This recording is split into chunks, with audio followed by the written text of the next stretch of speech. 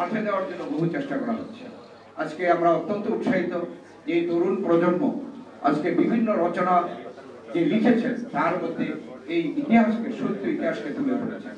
আমি আশা করি আমরা এই সত্য ইতিহাসকে এখনই শুধু এই সুবর্ণ জয়ন্তী পালন করার জন্য নয়, আমরা আমাদের ব্যক্তি জীবনে সমষ্টি জীবনে, সমাজে, জাতীয় পর্যায়ে বাংলাদেশের মুক্তিযুদ্ধ এবং এই পঞ্চাশ বছরের সঠিক ইতিহাসকে তুলে ধরবো। কেননা যে জাতি ইতিহাসকে সঠিকভাবে চিনে না, জানে না সেই জাতি কিন্তু টেকসইভাবে উন্নয়ন করতে পারে না। এটা আমার কথা নয়, বড় বড় মনীষীদের। অতএব আমরা সেই ইতিহাসকে আমরা, সত্যিকার ইতিহাসকে তুলে ধরতে চেয়েছি। এই চেষ্টা আমাদের অব্যাহত থাকবে। আমি এই, আমাদের এই তরুণ প্রজন্ম, যারা বিভিন্ন রচনা প্রতিযোগিতার মাধ্যমে, লিখনের মাধ্যমে এই বিষয়গুলো তুলে ধরেছেন এবং আজকে প্রতিযোগিতায় সাফল্যমণ্ডিত এখানে পুরস্কার গ্রহণ করেছেন, আমি সকলকে আমার পক্ষ থেকে এবং আমাদের দলের পক্ষ থেকে অভিনন্দন জানাচ্ছি। যারা অংশগ্রহণ করেছেন, তাদেরকে আমরা ধন্যবাদ এবং অভিনন্দন জানাচ্ছি। আল্লাহ হাফেজ, বাংলাদেশ জিন্দাবাদ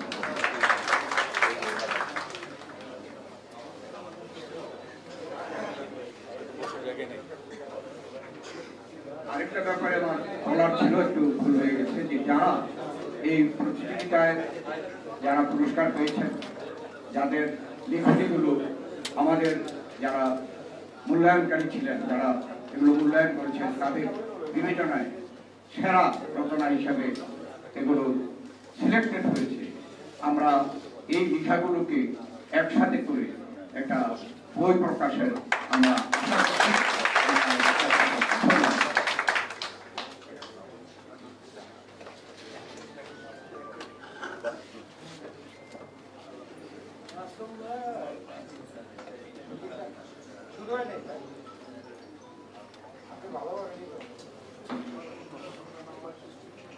আহ, অনেক অনেক ধন্যবাদ আমাদের প্রধান বক্তা আমাদের শ্রদ্ধ শিক্ষক মোশারফ স্যারকে যিনি আপনি গুরুত্বপূর্ণ বক্তব্য রেখেছেন এবং তিনি তার সহযোগিতা না পেলে আমরা এখন আসতে পারতাম না তার জন্য অনেক কৃতজ্ঞ আহ, এখানে সভাপতি মহোদয় একটু পরেই যদিও সবাইকে ধন্যবাদ দিবেন তারপরেও কাজ করতে গিয়ে যাদের কাছ থেকে বিশেষ সহযোগিতা পেয়েছি তাদের কথা আমার নিজের মুখ থেকে না বললে অপরাধী হয়ে যাবে বা পাপি বা অকৃতজ্ঞ হয়ে যাব বিনায় তাদের কথা সামান্য হলেও আমার বক্তব্যে আমার আমি প্রথমেই অনেক অনেক কৃতজ্ঞ ধন্যবাদ জানাচ্ছি বিএনপি বর্তমান বিএনপি চেয়ারপারসন তিনি গণতন্ত্রের জন্য অসুস্থ অবস্থায় যিনি এখনও কারাবন্দী আছেন তার উদ্যোগ তার নির্দেশনা তার পরামর্শে দল এগিয়ে যাচ্ছে। অনেক কৃতজ্ঞ আমাদের দেশনায়ক যারা তাহির রহমানের প্রতি যিনি বর্তমান দলের ভারপ্রাপ্ত চেয়ারপারসন, তার নির্দেশনায় এই সুবর্ণ জয়ন্তী উদযাপন হতে যাচ্ছে এবং আমাকে দায়িত্ব দেওয়ার জন্য আমি অনেক ধন্যবাদ আমাদের মাননীয় প্রধানমন্ত্রীর কাছে। আমি কাজ করতে গিয়ে যখনই তার সাথে আলাপ করেছি, বিশেষ করে সর্বশেষ অবস্থাটা থেকে শুরু করি, আমরা এই পুরস্কার বিতরণের যে বইটি আসলে আমাদের স্টকের বাইরে ছিল। মাহফুজুল্লাহ ভাই রচিত এই প্রেসিডেন্ট দিয়ে ছিল না। আমরা ভাবছিলাম যে এই বইটি দেবো সিদ্ধান্ত ছিল কিন্তু আমরা বইটা না পেয়ে আমরা হতাশ ছিলাম। পরবর্তীতে এমন এক সময় তার কাছ থেকে তার কাছে যোগাযোগ করে ফোন পেলাম সত্যি আনন্দিত, এই বইটা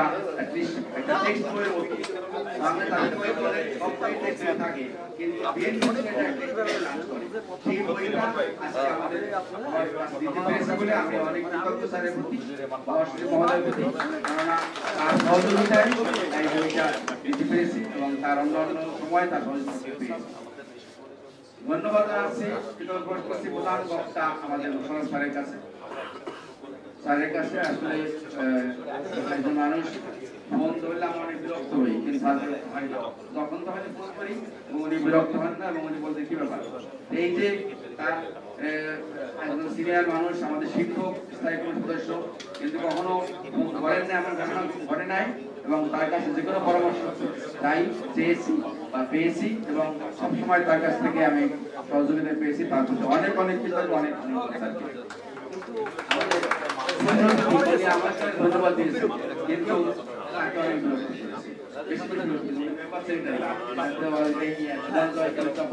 রচনা করেছে জাতীয় কমিটি। তার কাছে আমার বেশি কাজ ছিল সব কাজ করেছি। টাকা থেকে শুরু করে অন্যান্য কাজ সব তাকে আমি যখন বিরক্ত করেছি তার তার বাসায় গিয়ে হামলা করেছি করার চেষ্টা মতো। তার বিরক্ত হয়েছে বলে যে পারব না কিন্তু পরে আগামী দিয়েছে। করেছেন অনেক বর্তমানে ধন্যবাদ। আমি সভাপতি স্যার আমাদের শিক্ষক শিক্ষক একটা ইউনিভার্সিটি পড়াচ্ছেন অনেক ব্যস্ত। মিটিং দিতে পারতাম না, বলে পারতাম না ব্যস্ত তখন দিয়ে পরে মিটিং আমাদেরকে দিতেন তো এই যে কাজগুলো করতে পেরেছি, স্যারের প্রতি স্যারের সহযোগিতা সবসময় পেয়েছি। আগে মুস্তাহিদ স্যার ছিলেন, উনি মারা গেছেন, যার নামে উনিও আমাদের তখন বলতাম সেটাই তার কাছ থেকে আমরা পেয়েছি। এবং আগের আহ্বায়ক এবং বর্তমান আহ্বায়ক দুজনের প্রতি আমি অনেক কমিটির সকল সদস্য যখনই বলতে আমরা সাধারণত এই মিটিংগুলো করতে পারি না ফেস টু ফেস তবে বেশিরভাগ আমরা মিটিং অনলাইনে কিন্তু অনলাইনে কারণ গত দুই, দুইটা বছর করোনার থাকায় আমরা স্বাভাবিক জীবনযাত্রা থেকে দূরে ছিলাম বলেই সব মিটিং বেশিরভাগ মিটিং আমরা করেছিলাম অনলাইনে একটা মিটিং আমরা ঢাকা ইউনিভার্সিটি ক্লাবে করেছিলাম। বাকি সব মিটিংগুলো অনলাইনে করেছি, সবাই সহযোগিতা করেছেন এবং পরবর্তীকালে তাদের পরামর্শ যাই বলেছি অন্যান্য না বলেছে কিন্তু না বলাটা মানে ইমাম বা খাদেম খাদেমের ছেড়ে দেওয়াটা, এটা ভালো সবাই কাছ থেকে অনেক সহযোগিতা পেয়েছি। বিশেষ ধন্যবাদ আমাদের জাহাঙ্গীরনগর বিশ্ববিদ্যালয়ের অধ্যাপক পটুয়াখালী বিজ্ঞান বিশ্ববিদ্যালয়ের সাবেক উপাচার্য, আব্দুল মাসুম স্যারের প্রতি। কারণ উনি আমাদের বইয়ের কিছু ঘাটতি ছিল, সবসময় পরামর্শ দিয়েছেন। উনি ঢাকা বিভাগে অনেকগুলো লেখা মূল্যায়ন করেছে সবচেয়ে বেশি ওনার সিনিয়র মানুষ কাজ বেশি দিয়েছেন উনি।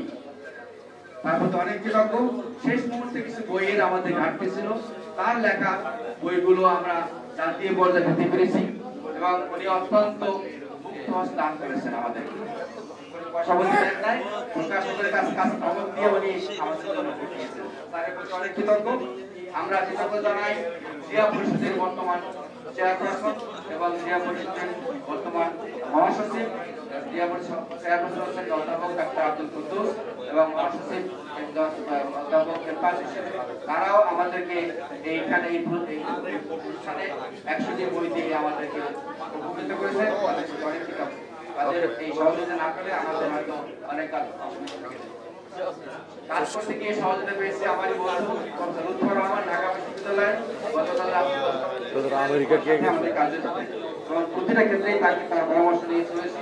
আমরা আমরা আহ, প্রত্যেকটা কাজে তাকে যেভাবে পেয়েছি। সবাইকে এভাবে আজকে- আশা করেছিলাম তোরা কয়েকজন বলে চার পাঁচজন বিচারে আমাদের অনেক পরেও যেতে কারে বলা হ্যাঁ? আমাদের ঢাকা বিশ্ববিদ্যালয়ের অধ্যাপক তার কাছ থেকে আমি পেয়েছি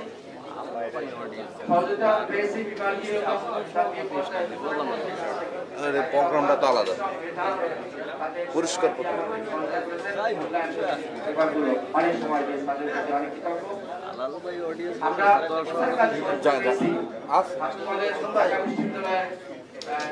সাবেক আহ্বায়ক কেন্দ্রীয় কমিটির রাকিব রাকিব তার কাছ থেকে আমি সহযোগিতা পেয়েছি। কাজ যখন আমরা কাজ করছিলাম, তখন তিনি সহযোগিতা করেছেন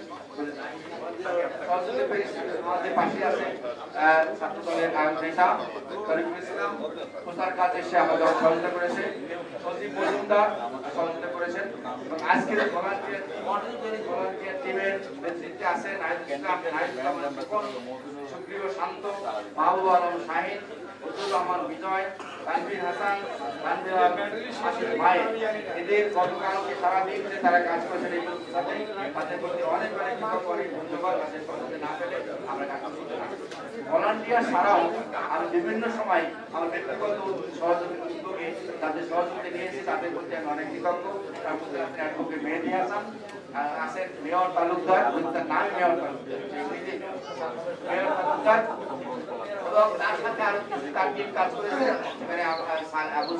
সহ অনেক তাদের নাম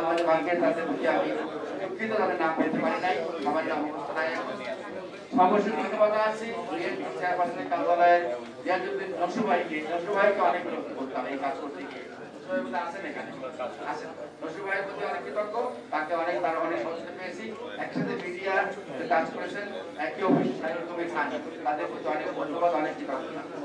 বিশেষ সহযোগিতার জন্য ধন্যবাদ জানাচ্ছি আমাদের বিএনপি ভাইস চেয়ারম্যান জনাব আব্দুল ভাই। বিশেষ সহযোগিতা। অর্থনৈতিক বিষয় সম্পাদক ইঞ্জিনিয়ার খালেদ শ্যামল। নির্বাহী সদস্য রবিউল ইসলাম রবি ধানমন্ডি আসলে সদস্য। তাদের কাছ থেকে অনেক সংগ্রহ আমি সদস্য তাদের কাছে পেয়েছি ইঞ্জিনিয়ার ইশা ইশাক সহ আরও অনেকে। তাদের সহযোগিতায় আমরা প্রচার কাজ আরও বেগবান করতে পেরেছি। তাদের ফেসবুক বন্ধু এত বেশি তাদের কাছ থেকে পেয়েই আমরা অনেক মানে, প্রোগ্রামটা পেরেছি। তাদের প্রতি অনেক কৃতজ্ঞ ধন্যবাদ। এবং সব শেষে ধন্যবাদ দিতে হয় আমাদের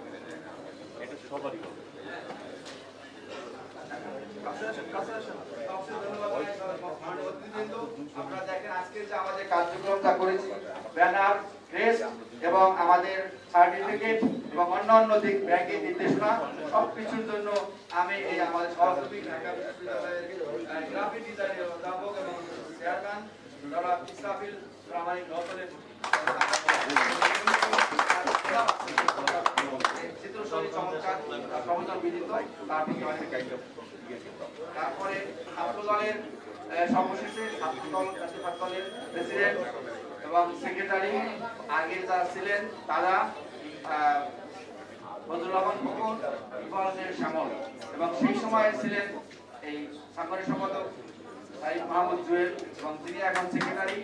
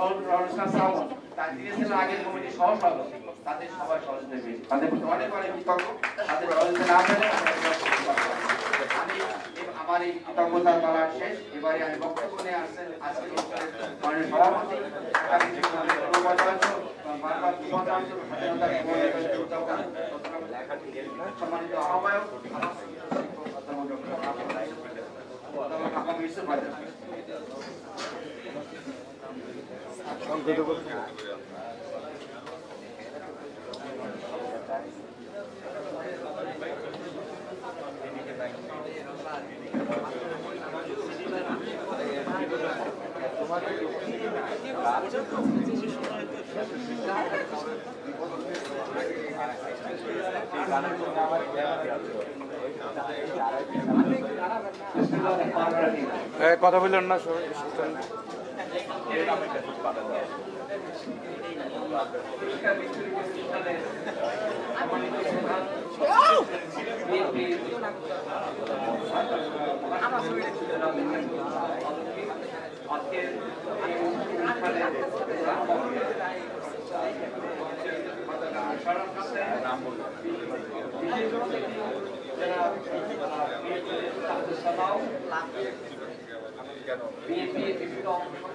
নেতৃবৃন্দ ও ইলেকট্রনিক মিডিয়ার সম্মানিত সদস্য প্রতিনিধিবৃন্দ আসসালামু আলাইকুম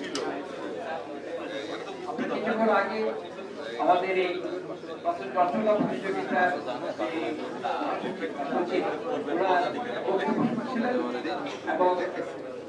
একটা বিরাট এই ধন্যবাদ প্রকাশ পাওয়া যায়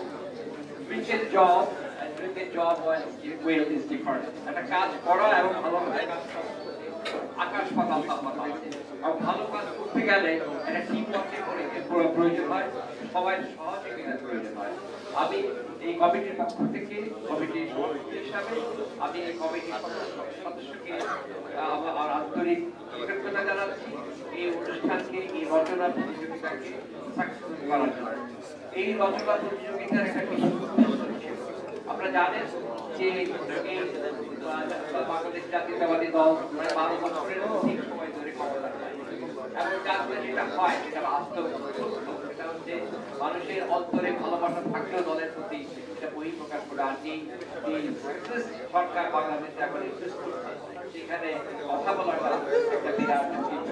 এরই মধ্যে এই এই পরিস্থিতিতে আমাদের এই স্কুল লেভেলের প্রাইমারি লেভেল থেকে আরম্ভ করে বিশ্ববিদ্যালয় বা আন্তর্জাতিক পর্যায়ে বিভিন্ন ব্যক্তি আমাদের এই মুক্তিযুদ্ধের উদ্দেশ্য, মুক্তিযুদ্ধের ঘোষণা সর্বোপরি এই বাংলাদেশ জাতীয়তাবাদী দলের প্রতিষ্ঠাতা এবং বীর মুক্তিযোদ্ধা বা স্বাধীনতার ঘোষক প্রেসিডেন্ট জিয়া রহমানের যে প্রতিষ্ঠিত এই দলের আদর্শের প্রতি তাদের প্রতি কতটুকু শ্রদ্ধা এবং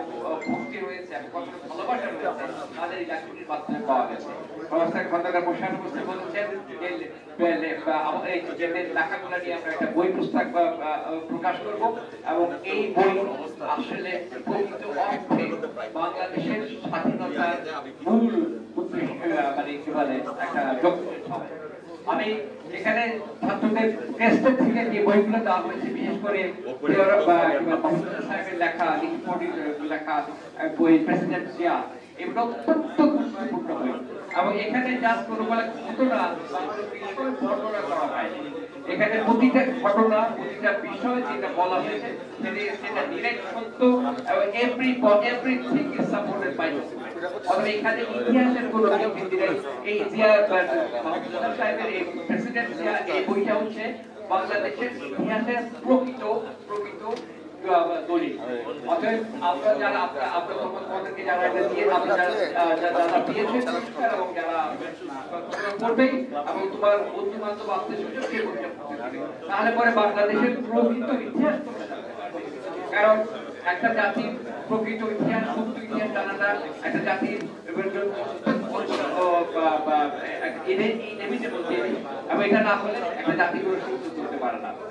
প্রেসিডেন্ট দেওয়ার সময় দেওয়ার রহমান আমি অনেক বলতে গেলে অনেক বলতে হবে। বাংলাদেশের অর্থনীতির যে মূল কাঠামো যেটা সেটা হচ্ছে আবার ম্যান পাওয়ার এক্সপোর্ট এবং গার্মেন্ট ইন্ডাস্ট্রি এই দুইটাই দেওয়ার রহমানের মধ্যে মস্তিষ্ক আহ, কি বলে চিন্তা এবং তার ফলে আজকে যে বাংলাদেশের এই অর্থনৈতিক অবস্থা দাবি কাঠি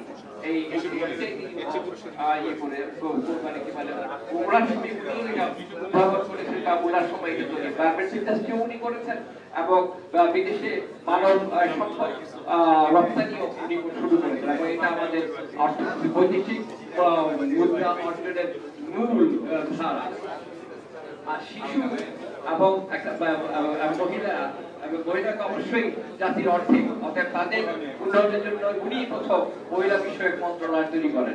এবং শিশুদের মনন ও মানসিকতা বিষয়ের মেধার বিকাশের জন্য উনি অনেক কাজ করেন। শিশু একাডেমি, আজকে শিশু একাডেমিতে যারা যাচ্ছেন তাদের এই, এই- শিশু একাডেমি শিশুদের এবং চিত্ত জন্য শিশু পার্ক বাংলাদেশের প্রথম শিশু পার্ক জিয়া রহমান করেছেন। এবং সবচেয়ে বড় কথা হচ্ছে বাংলাদেশের নবী বা মানে মানে বাচ্চাদের ছোটদের মানে মেধা বিকাশের জন্য উনি নতুন করে অনুষ্ঠানের সূচনা করে তৈরি সৃষ্টি করেছেন নতুন করে থেকে আমরা বিভিন্ন বাংলাদেশের সংস্কৃতি বিভিন্ন রকম প্রতিযোগিতা অনুষ্ঠিত এবং এখানে বাংলাদেশের ভবিষ্যৎ দুঃখের বিষয় যে এই কি বলে নতুন করে অনুষ্ঠানটা বন্ধ করে দেওয়া। শ্রাবণে কইছে তো অর্থাৎ জিয়াউর রহমান আহ, প্রথম সর্ব বিষয়ে বাংলাদেশের সর্ব বিষয়ে চিন্তা করেছিলেন মনির ভাই। তিনি মনির ভাই, শিবলি দাওয়াত কর। একজন রাষ্ট্রনায়ক ছিলেন রাষ্ট্রনায়ক আর রাষ্ট্রপ্রধানের মধ্যে পার্থক্য হচ্ছে রাষ্ট্রপ্রধান দৈনন্দিন জীবন তিনি পাঁচ বছর ক্ষমতা থাকবেন বা চার ওই চার পাঁচ বছর ক্ষমতা কথা চিন্তা একটা রাষ্ট্রনায়ক একটা মনির দেশের ভাই। ভবিষ্যৎ পঞ্চাশ বছর কি হবে সেইটা চিন্তা করে এবং জিয়া রহমান সেটাই মনির ভাই যে কিরণ অথবা দিদার বাইরে ফোন দিয়ে দিত এটা যে ওই মালিক আছে না, উনি নিজে এক নামে চিনে, এই শিবলি ভাই। প্রতিযোগিতায় অংশগ্রহণ করেছ আমি তোমাদের সবাইকে আন্তরিক আন্তরিক অভিনন্দন জানাচ্ছি। এবং খাওয়াবেন না সবাইরে খাওয়াবেন। মা, দিছি না। আপনারা যা দিছে তাই তো করে ছিল। সবারই দেওয়া এই contest এ এত বেশি কি হয়েছে? বিচারকরা একটা যে তারা এখান থেকে মানে অনেক মানে মানে সূক্ষ্ম বিচারে আমাদের বিভিন্ন বিজয়ীকে বের বের করে আসছে। বড় কথা হচ্ছে বিজয়ী বিজয়ী হওয়াটা অবশ্যই একটা আনন্দের বিষয়, সুখের বিষয়। কিন্তু একটি প্রতিযোগিতায় অংশগ্রহণ করাটা সম পরিমাণ তোমরা আজকে যারা প্রতিযোগিতায় অংশগ্রহণ করে পুরস্কার পাও নাই, তারা নিশ্চয়ই সামনে পাবে। অতএব এটা সবার কিছু নাই। আর যারা অভিনয়, যারা পুরস্কার পেয়েছ, তারা তোমাদের এই মেধা তোমাদের যোগ্যতা, আমাদের একজন বক্তা বললেন যে এটা তার জীবনের পাথর হবে এবং এরই আদর্শে একজন নিজেকে দেশের একজন আদর্শ বা নাগরিক হিসাবে গড়ে তুলবে। দেশকে সেবা করবে। এটাই হচ্ছে আমাদের। বাংলাদেশ জাতীয়তাবাদী আদর্শে অনুপ্রাণিত হয়ে আমাদের এই জনগণ, এই জনগোষ্ঠী ভবিষ্যৎ প্রজন্ম তৈরি হবে এবং তাদের প্রতি আমরা আমাদের বাংলাদেশকে ছেড়ে দিয়ে যাব। এবং নিশ্চয়ই এরা যখন ক্ষমতায় আসবে বা যখন রাষ্ট্রের বলে দায়িত্ব গ্রহণ করবে বিভিন্ন পর্যায়ে, আমরা নিশ্চয়ই বাংলাদেশের করতে হবে। আর তোমাদের যে লেখা, তোমাদের যে সচেতনতা, তার মাধ্যমে বাংলাদেশ ইতিহাস বাংলাদেশ ইতিহাসকে যতই স্বীকৃত করার চেষ্টা করা হোক না কেন, কোনো অবস্থাতেই করতে পারবে না। কারণ সত্য এবং সত্য মানুষের প্রত্যেকটা মানুষ তার চিত্তে ধারণ করে। এবং এই বাংলাদেশ জাতীয়তাবাদী এবং বাংলাদেশের আদর্শ আমার এই বাংলাদেশের তরুণ যেটা প্রজন্ম আছে জাতীয়তাবাদী আদর্শ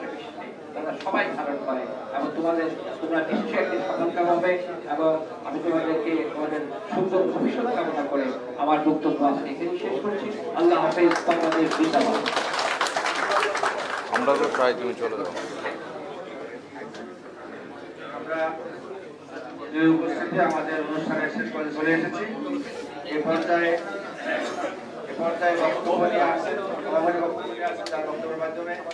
অনুষ্ঠান সমাপ্ত হবে। আমাদের আজকের অনুষ্ঠানের প্রধান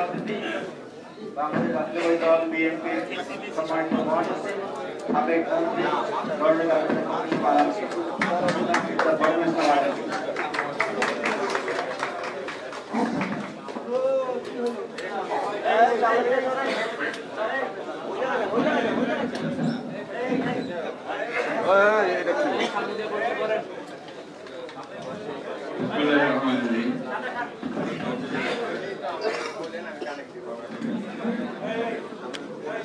সামনে থেকে সরেন। বাংলাদেশ জাতীয়তাবাদী বিএনপির গেছে নুরু যাও রচনা প্রতিযোগিতার বিতরণ অনুষ্ঠানের সম্মানিত সভাপতি ওই আঙ্কেল এই ভাই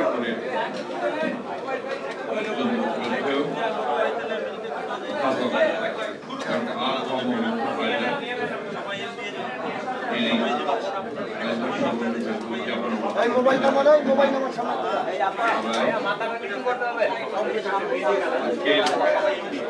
অনুষ্ঠানে হিসেবে উপস্থিত আছেন আমাদের অত্যন্ত পরিচয় ব্যক্তিত্ব বাংলাদেশ জাতীয়তাবাদী বিএনপি সুবর্ণ জয়ন্তী কমিটির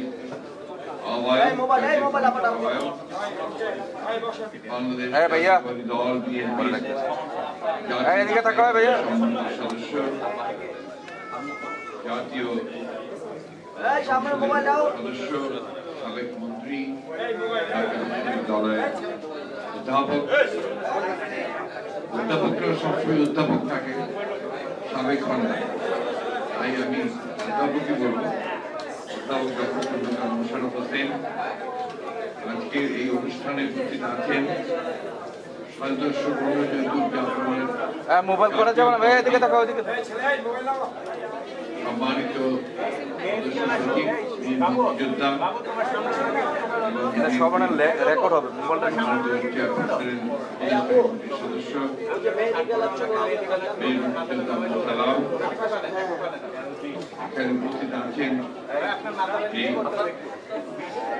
আঙ্কেল, আপনার মাথা নিচু করতে হবে।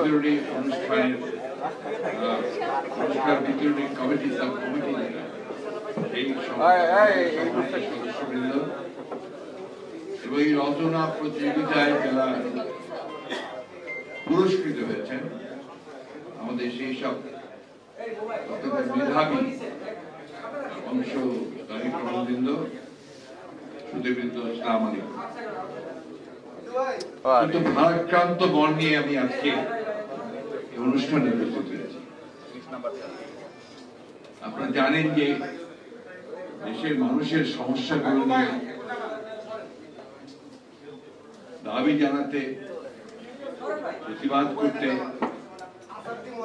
আমাদের সারা দেশ জুড়ে প্রায় দেড় মাস ধরে আমরা আন্দোলন করছি, জনগণের সমস্যাগুলো এবং এই আন্দোলনে ইতিমধ্যেই আমাদের চারজন তরুণ যুবক তারা প্রাণ দিয়েছেন গত পরশু মুর্শিদাবাদের একজন যুবদল কর্মী, তিনি আহত হয়েছিলেন গতকাল, গত পরশু রাতে, দুঃখিত, পরশু রাতে তিনি ঢাকা মেডিকেল কলেজে শহীদ হয়ে গেছেন। পঁচিশ, ছাব্বিশ বছরের একটা যুবক, তার ছোট্ট ফুটফুটে আট মাসের একটা বাচ্চা, স্ত্রী, বাবা, মা সকলকে বাঁচিয়ে রাখতে, সেটা জীবন ধারণের জন্য সকলকে বাঁচিয়ে রাখতে একটা অটো চার্জার চালাতো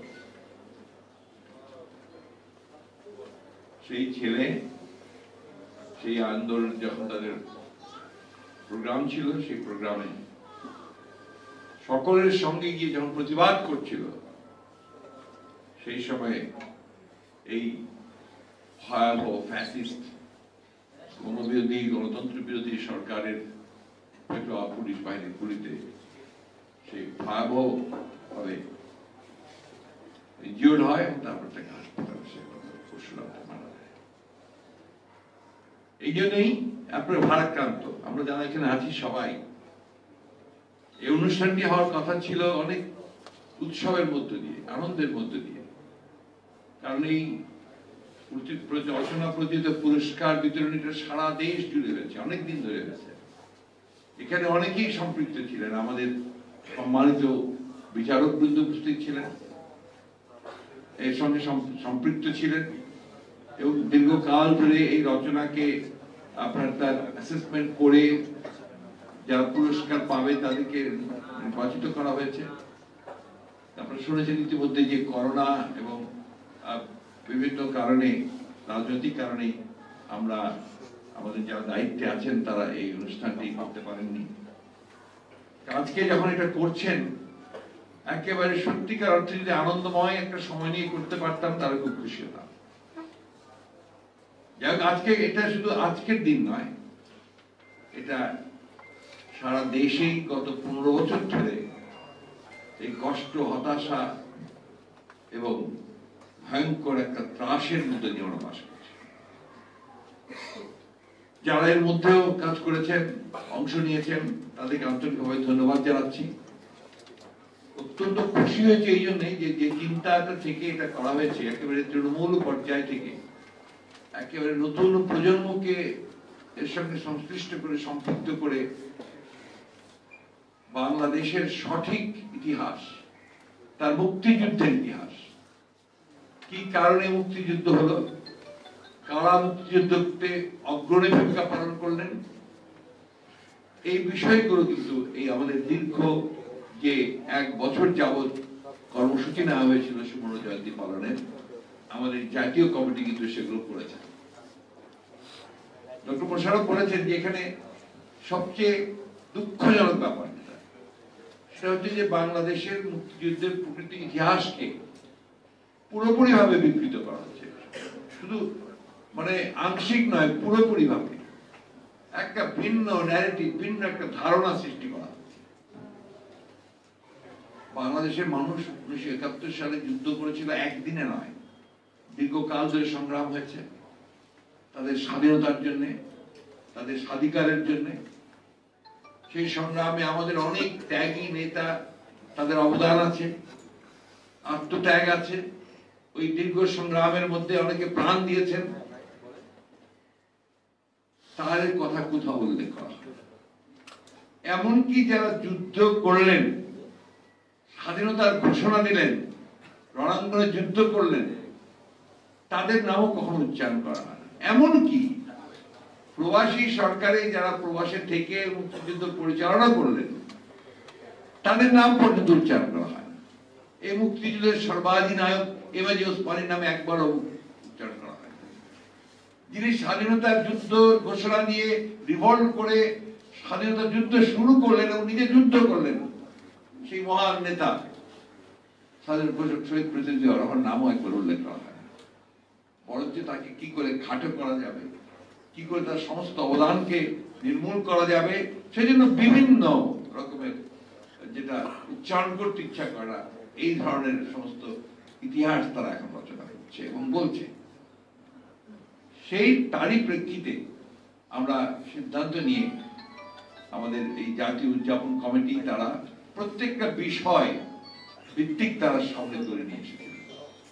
আমরা জানেন যে এখানে আমরা শুধুমাত্র শহীদ প্রেসিডেন্ট জিয়াউর রহমানকে নয়, অন্যান্য যারা এই মুক্তিযুদ্ধের জন্য অবদান রেখেছিলেন, যারা সামনে থেকে সংগ্রাম করেছিলেন, লড়াই করেছিলেন, নেতৃত্ব দিয়েছিলেন তাদেরকেও কিন্তু এই অনুষ্ঠানগুলোতে এই কর্মসূচিগুলোতে আমাদের জাতীয় যে উদযাপন কমিটি তারা নিয়ে এসেছিলেন। আপনারা জানেন আসাম আব্দুল শাহজাহান সিরাজের তাদের কিন্তু তারা নিয়ে এসেছিলেন উদ্দেশ্যটা একটাই ছিল যে জাতিকে সত্যিকার অর্থে প্রকৃত ইতিহাস জানানো। আজকে আমি অত্যন্ত আনন্দিত হয়েছি যে আজকে আমাদের এই যে পাঁচ বছরের ছোট্ট মেয়েটা ছেলেটা এখানে বক্তব্য রাখল। সে কিন্তু জিয়াউর রহমানের সাহেবের নাম উচ্চারণ করল। অর্থাৎ ওই শিশুর এই উচ্চারণের মধ্য দিয়ে জিয়াউর রহমান কিন্তু বেঁচে গেলেন ভবিষ্যৎ প্রজন্মের এরা আসলে আহম্মকের সঙ্গে বাস করে। এরা মনে করে যে তারা কথা বললেই, মিথ্যা প্রচার করলেই ইতিহাস সেটা নিয়ে নেবে। ইতিহাস তো নেয় না। ইতিহাস সত্য তাই নাই। সব সময়। এবং ইতিহাসকে কেউ ইচ্ছা করলে বিকৃত করতে পারে না। আজকে শহীদ প্রেসিডেন্ট জিয়াউর রহমানের নাম, লক্ষ শহীদের নাম, লক্ষ মুক্তিযোদ্ধার নাম কেউ কখনো ইতিহাস থেকে মুছে ফেলতে পারে আর সেই জন্যই আমাদের দায়িত্ব, যারা আমরা রাজনীতি করছি, যারা আমরা দেশকে, জাতিকে সঠিক পিছনের জাতিকে সমগ্র জাতিকে আমরা যারা সত্য কথাটা জানাতে চাই, আমাদের দায়িত্ব হচ্ছে সেটা জানানোর এবং আমি মনে করি আজকে আমাদের ডক্টর মোশারফ সাহেবের নেতৃত্বে সালাম সাহেবের সঙ্গে নিয়ে তিনি এই কাজটি অত্যন্ত সুচারুভাবে করতে পেরেছেন। এবং অনেক প্রতিবন্ধকতার এবং আজকে এই যে আমাদের রচনা প্রতিযোগিতা বিতরণী অনুষ্ঠানের যে কমিটি, এই কমিটি অনেক প্রতিবন্ধকতা, অনেক সমস্যা। শেষের দিকে এসে এমন সমস্যা হলো, আর্থিক সমস্যা। এবং আমি অত্যন্ত দুঃখিত। এই ব্যাপারে আমি অনেক চেষ্টা করে কিছু করতে পারিনি। শেষ পর্যন্ত ডক্টর মোশারফ সাহেব তারা বোধহয় এটাকে করে দিতে পেরেছেন আমাদের আমাদের ভারপ্রাপ্ত চেয়ারম্যান সাহেব এই সমস্যার সমাধান করেছেন সেজন্য তাকে আন্তরিকভাবে ধন্যবাদ।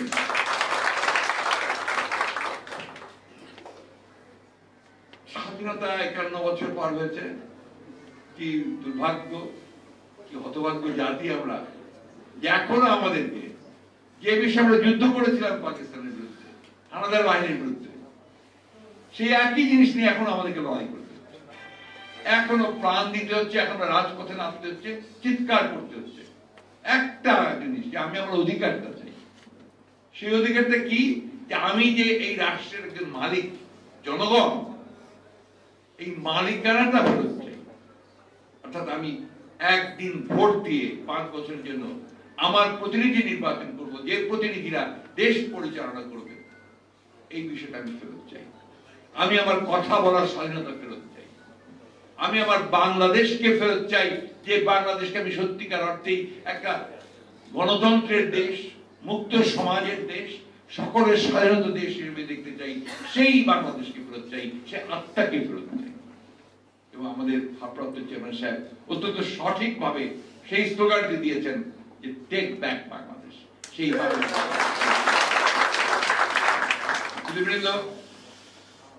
আমরা খুব স্পষ্ট করে বারবার বলেছি যে এই আন্দোলন এই সংগ্রাম এই রক্তপাত এই আত্মদান এই বলিদান এটা বিএনপির জন্য নয়। এটা সমগ্র জাতির জন্য। আজকে সমগ্র জাতি আজকে পড়েছে আপনারা দেখুন যে মহিষী মহিলা মহিষী নারী মহিষী নেত্রী দীর্ঘ নয় বছর স্বৈরাচারের বিরুদ্ধে সংগ্রাম করেছেন।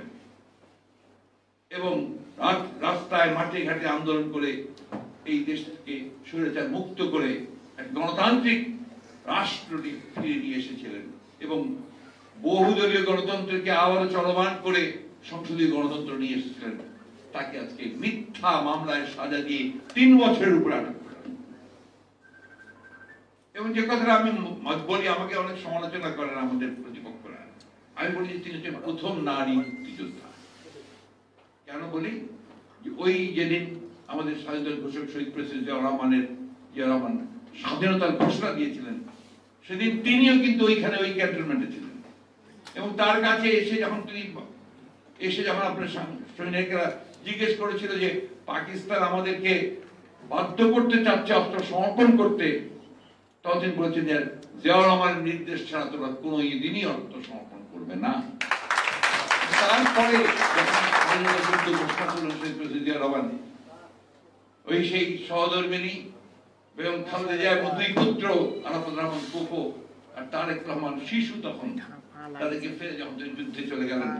তখন এই মহিষী নারী, তিনি তার দুই পুত্রের হাত ধরে তিনি আরেকটা নতুন যুদ্ধ শুরু করলেন। সেই যুদ্ধ হচ্ছে যে এইভাবেই টিকে থাকার যুদ্ধ এবং এইভাবে যুদ্ধকে সাহায্য করার যুদ্ধ। কিন্তু পাক আমাদের বাহিনী যখন তাকে গ্রেপ্তার করল। তারপর থেকে কিন্তু কারাগারেই ছিলেন। দেশ স্বাধীন হওয়ার অর্থাৎ ষোলোই ডিসেম্বর পর্যন্ত। তো তিনি মুক্তিযোদ্ধা হবেন না তো কে মুক্তিযোদ্ধা হবে? যাদের জন্মই হয়েছে, যারা মুক্তিযুদ্ধ দেখেনি যারা মুক্তিযুদ্ধের সম্পর্কে সম্পূর্ণ একটা ভ্রান্ত চিন্তা ভাবনা নিয়ে আছে তারা মুক্তিযোদ্ধা হবে। তাই অবশ্যই তিনি প্রথম নারী। আমাদের ভারপ্রাপ্ত চেয়ারম্যান জনাব তারেক রহমান, যিনি তার রাজনীতির শুরুটা করেছিলেন ফুল দিয়ে। আপনাদের নিশ্চয়ই মনে থাকার কথা যে সজীব অজেব জয় যখন দেশে এসেছিলেন এবং যখন তিনি আওয়ামী লীগের প্রথম সভায় যোগ দিয়েছিলেন, তখন তাকে ফুলের ফুল দিয়ে উপহার পাঠিয়েছিলেন। অর্থাৎ এই যে সমঝোতার রাজনীতি, গণতন্ত্রের যে সহনশীলতা তার নতুন দৃষ্টান্ত তিনি শুরু করেছিলেন। এবং পরবর্তীকালে গণতন্ত্রকে একেবারে আপনার তৃণমূল পর্যায়ে নিয়ে যাওয়ার জন্য তিনি কিন্তু ইউনিয়ন পর্যায়ে সম্মেলন শুরু করেছিলেন, বিএনপি রাজনীতিকে তৃণমূল পর্যায়ে নিয়ে যাওয়ার জন্য।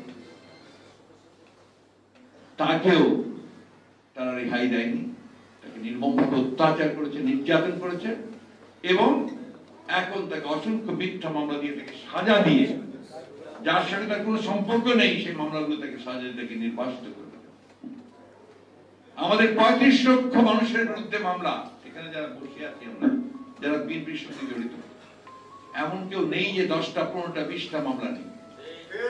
আপনি দেখেন যে মুন্সিগঞ্জে যে আপনার পুলিশ যে গুলি করল, সেখানে এক হাজার সাড়ে সাতশো জনকে মামলা দিয়েছে।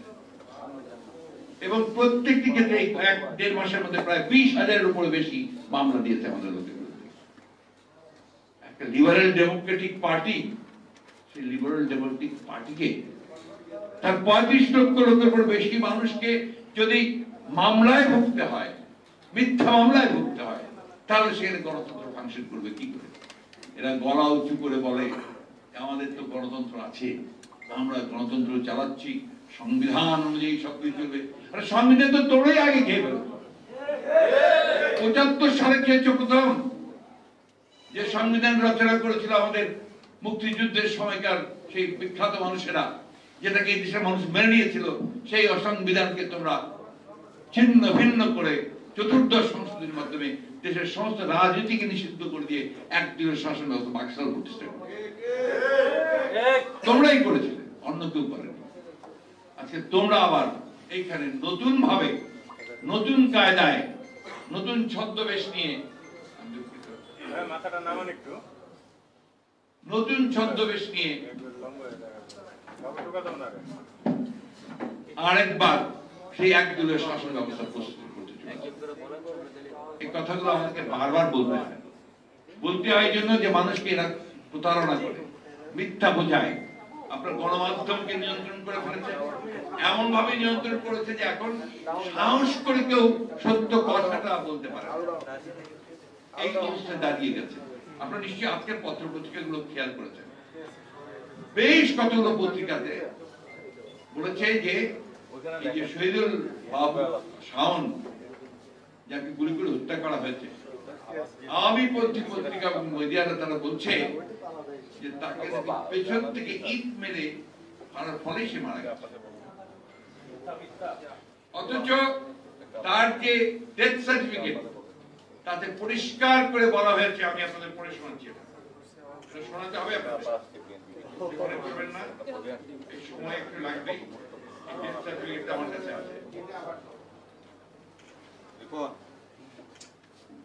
আমি আপনাদের শো করছি আমার টেলিফোনে এখানে বলছে যে Shahidul Islam Shaon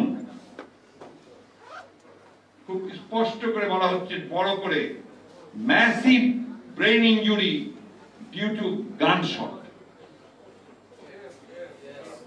massive brain injury due to gun shot ছবিটা আমি আপনাদের দেখাবো না, শিশুরা আছে, আমার কাছে ছবিও আছে। মাথার কুনি পর্যন্ত উড়ে গেছে। এই দেশে, এই রাষ্ট্রে যারা এই সমস্ত গণতন্ত্রের কথা বলে আমাদের সেই সমস্ত ভয়াবহ গণতন্ত্র হরণকারীরা, তখন লজ্জা ধিক্ষার তারা কিছু আসে না। আজকে বড় বড় কথা বলছেন? বিদেশে গিয়ে মার্কিনদের ওখানে গেছেন, গিয়ে ওখানে বলছেন যে যুদ্ধ চাই না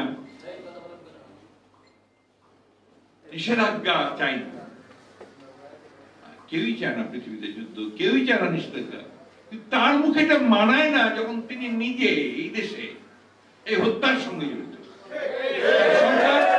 যখন এই হত্যাগুলো করছে গুম হয়ে গেছে আমাদের ছয়শোর উপরে মানুষ আপনারা জানেন ইলিয়াস আলী আমাদের চৌধুরী আলম আমাদের পারভেজ থেকে শুরু করে সুমন ইমন ইন্না মুন্না আমাদের ছাত্রদল অসংখ্য ছেলে যা কি? এই সমস্ত ছেলেগুলো চলে গেছে মায়ের কোল খালি করে।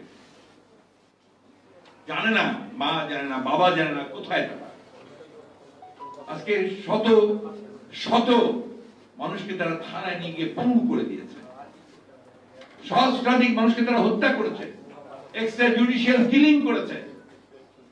এবং যে কারণে আজকে একটা অত্যন্ত এলিট ফোর্স, র্যাব, যারা দেশে সুনাম কুড়িয়েছিল অপরাধ দমনের ক্ষেত্রে, এই সরকারের অন্যায় আদেশ পালন করতে গিয়ে তাদের কাছে নিষেধাজ্ঞা পড়েছে তাদের সাতজন কর্মকর্তার উপরে নিষেধাজ্ঞা পড়েছে। এটা নিয়ে সরকারের কোনো মাথা ব্যথা নেই না, শুধু না, তারা কোনো কিছু করতে পারবে তারাই এই নির্দেশ দাতা। তাদেরই তো সবার আগে নিষেধাজ্ঞা আসা প্রয়োজন। কিন্তু নিষেধাজ্ঞা ইতিমধ্যে জনগণ দিয়ে দিয়েছে। মানুষ বলে দিয়েছে যে তোমাদেরকে আর দরকার নাই।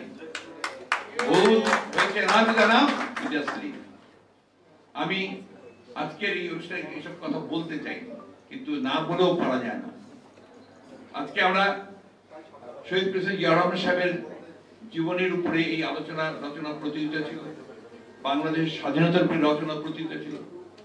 শহীদ প্রেসিডেন্ট জিয়া রহমান তো তুলনাহীন ক্ষণজন্মা একজন মানুষ। এত অল্প সময়ের মধ্যে তাকে আমরা কেউই বর্ণনা করতে পারব না। মাহফুজুল্লাহর বই থেকে উনি বলেছেন যে টেক্সট বুক আমি বলি যে সেটাও পরিপূর্ণ নয়। একটা অসাধারণ ব্যক্তিত্ব, বিরল প্রতিভার অধিকারী, একজন রাষ্ট্রনায়ক। যিনি নিজের জীবনে সবসময় সততা চর্চা করেছেন সততার মধ্য দিয়ে, যিনি সত্যিকার জাতিকে একটা জায়গায়, একটা মর্যাদার জায়গায় তুলে নিয়ে এসেছিলেন। পঁচাত্তর সালে তো এটা ছিল বটমলেস বাস্কেট আমরা নই, ওই মার্কিনেরই বলেছে সেই বটমলেস বাস্কেটকে তিনি মাথায় তুলে নিয়ে এসেছিলেন। উপরে তুলে নিয়ে এসেছে কৃষি বিপ্লব হয়েছিল। দুর্ভিক্ষ হয়নি, উনিশশো চুয়াত্তর সালে আওয়ামী লীগের সময় দুর্ভিক্ষ হয়েছে মানুষ না খেতে পেয়ে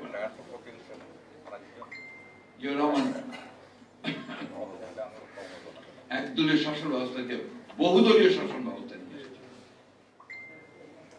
যেটা ছিল আমাদের বাংলাদেশের মানুষের, আমি বলেছি, আত্মা। আমরা এখানে ডেমোক্রেসি চাই, খাই, না খাই, কিন্তু আমরা কথা বলতে চাই, আমরা নির্বাচন করতে চাই, আমরা আমাদের প্রতিনিধি নির্বাচন করতে চাই। দেখবেন, এটা মানুষের মধ্যে একটা, এটা একটা চারিত্রিক একটা বৈশিষ্ট্য। সেইটাকে তারা ধ্বংস এখন অনেক কথা আজকাল কম বলে, আগে তো বলতো যে আগে উন্নয়ন, তারপরে গণতন্ত্র। এখন কম বলে। তো উন্নয়ন কোনোদিনই টেকসই হতে পারে না যদি গণতন্ত্র না থাকে। আর গণতন্ত্র কখনোই ফলপ্রসূ হবে না, সেখানে যদি আপনার মাল্টি পার্টি সিস্টেম না থাকে সেখানে ভোট দিতে মানুষ না পারে দিতে না পারে। যাই হোক, আমি বক্তব্য দীর্ঘ করব না। আমি এই কথাগুলো বলার আজকে সুযোগ নিলাম যে আমাদের নতুন প্রজন্মের ছেলেমেয়েরা এখানে আছে। খুব ভালো লেগেছে। যে আজকে এই সমস্ত শিশুরা এই সমস্ত কিশোররা এই সমস্ত তরুণেরা তারা জিয়া রহমানকে জানার চেষ্টা করছে। এই বইগুলো ভালো করে পড়বে এরা কিন্তু বইও পড়তে দেয় না। স্কুলে তো এখন ট্রেনিং হয়ে গেছে আপনার যে বিভিন্ন রকম স্লোগান দিতে হবে সব দিতে হবে এবং আপনার একজন ব্যক্তি ছাড়া কোনো ব্যক্তি নেই বাংলাদেশে। এক ব্যক্তি এক ব্যক্তি। তাই না? তো তখনও তাই শুরু করেছিল, পারেনি পঁচাত্তর সালে। এরপরে এখন এটা শুরু করেছে ওই এক ব্যক্তি। এক ব্যক্তিরই শাসন, এক ব্যক্তি সব, এক ব্যক্তিরই মতবাদ, সব কিছু কিন্তু এগুলো টেকে না ভাই। ইতিহাস পড়ে যে এগুলো টেকে না। এই ধরনের কর্তৃত্ববাদ, এই ধরনের ফ্যাসিবাদ এগুলো কখনোই টেকে না। অন্যায় করে, নির্যাতন করে, ভালোবাসা না থাকলে, প্রেম না থাকলে কি আপনার কখনো কাউকে চিরস্থায়ী করা যায়? আপনি দেখুন ফিডেল কিউবাতে। এখনও মানুষকে দিয়েছে তারা। চায় না তারা দিয়েছে, কিন্তু তোমরা কিচ্ছু দিতে পারোনি। তোমরা দিয়েছ মানুষকে কষ্ট, যন্ত্রণা এবং তোমরা হত্যা করেছ নির্মম ভাবে আজকে সাধারণ মানুষ, বিয়াল্লিশ ভাগ লোকের দারিদ্র সীমার নিচে বাস করে। আবার বড় যে উন্নয়ন হয়েছে। উন্নয়ন। টেলিভিশনে ধরলে আপনি যখন বাজারের মধ্যে আপনার যে টেলিভিশনের, আপনার রিপোর্টাররা যান গিয়ে ধরেন যাদের ক্রেতা তাদের কাছে। তো বলে যে আমি সংসার কীভাবে চালাবো জানি না। বাস্তবতা সেটা তাদের ব্যর্থতার জন্য, তাদের দুর্নীতির জন্য। শতকরে বিয়াল্লিশ ভাগ মানুষ দারিদ্র সীমার নিচে, আর তারা হচ্ছেন আপনার লক্ষ লক্ষ কোটি কোটি টাকার মালিক। এবং বিদেশে পাচার করছেন এই অবস্থার অবসান ঘটাতে হবে। সেই অবস্থার অবসান ঘটাতে আমাদেরকে, তরুণদেরকেই আপনাদেরকেই ঘটাতে জেগে উঠতে হবে। বাংলাদেশের মানুষকে জেগে উঠতে হবে। যখন এই ডক্টর মোশারফরা যুদ্ধ করেন, যারা আমরা যুদ্ধের সঙ্গে ছিলাম, আমরা তখন তরুণ ছিলাম, আমরা ঢাকা বিশ্ববিদ্যালয় থেকে বেরোচ্ছি বা এই তারাই ছিলাম আজকে ঠিক একইভাবে এই তরুণ যুবকদেরকে জেগে উঠতে হবে। এই শাওন, আরেকজন শাওন নারায়ণগঞ্জের, রহিম নূরে আলমের রক্তকে বৃথা যেতে দেওয়া যাবে না। তাদের রক্তের যদি আমরা সত্যিকার অর্থে শ্রদ্ধা জানাতে চাই, ভালোবাসা জানাতে চাই, তাহলে এই ভয়াবহ দানবীয় সরকারকে পরাজিত করে জনগণের সরকার প্রতিষ্ঠা করতে হবে। আজকে সেটাই হচ্ছে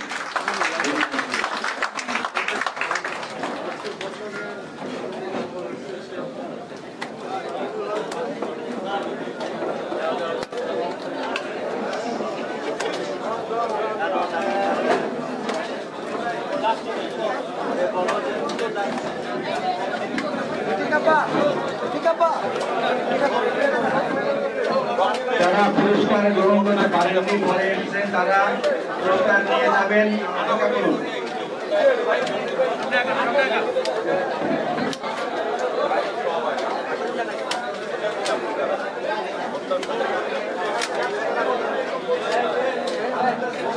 অপেক্ষা Thank you.